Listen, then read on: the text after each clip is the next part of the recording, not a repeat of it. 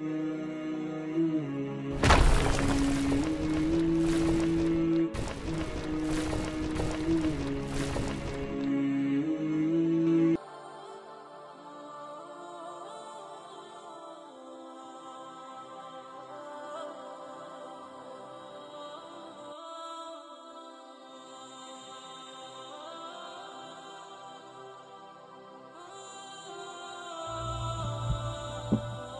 मस्जिद ऐशा, जिसे मस्जिद तलीम भी कहा जाता है, मस्जिद ऐशा अहल के इलाके में वाक़ है, जो कि खान काबा से तकरीबन पाँच मील के फासले पर तलीम में है।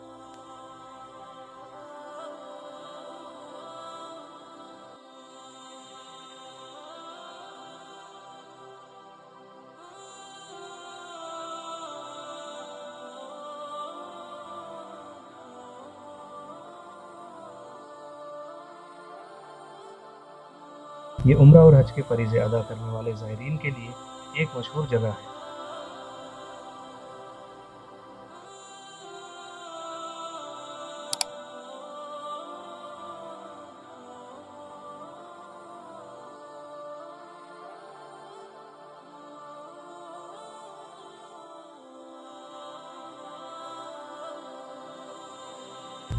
इसका नाम रसूल सल्लल्लाहु अलैहि वसल्लम की अहलिया हज़रत आयशा रज़ी तह के नाम पर रखा गया। जिन्होंने उम्र करने के लिए इस मस्जिद में उसका फरीज़ा अदा किया।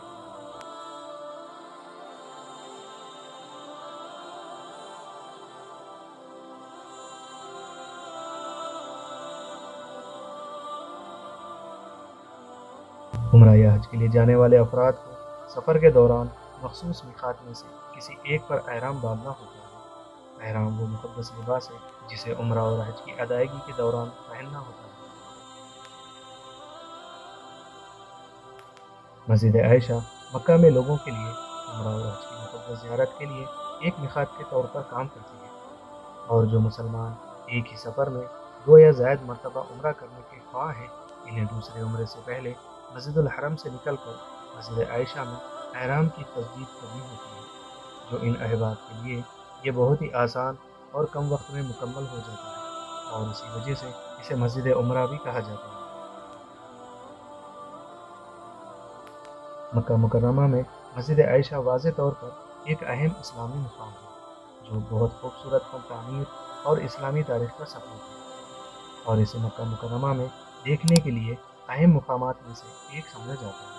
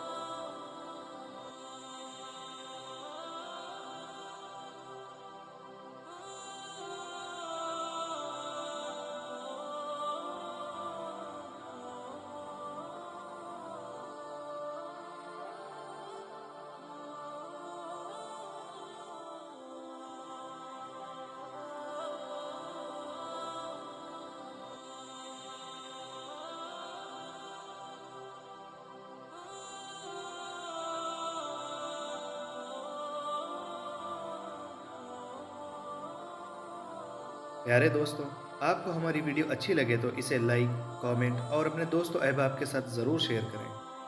और आपको मुनासिब लगे तो हमारे चैनल जस्ट वाइफ को सब्सक्राइब भी करिए और साथ ही बेल आइकॉन पर क्लिक करें ताकि हमारी अगली वीडियो की नोटिफिकेशन आप तक पहुँच सके। जजाकल्ला, दुआओं की ख़ास गुजारिश, अल्लाह हाफिज़।